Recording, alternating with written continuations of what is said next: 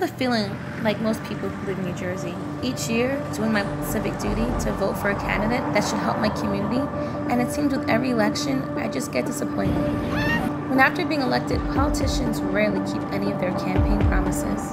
I feel I just can't sit back and watch a new politician or old make the same promises they aren't planning to keep. Not to me and not to my community.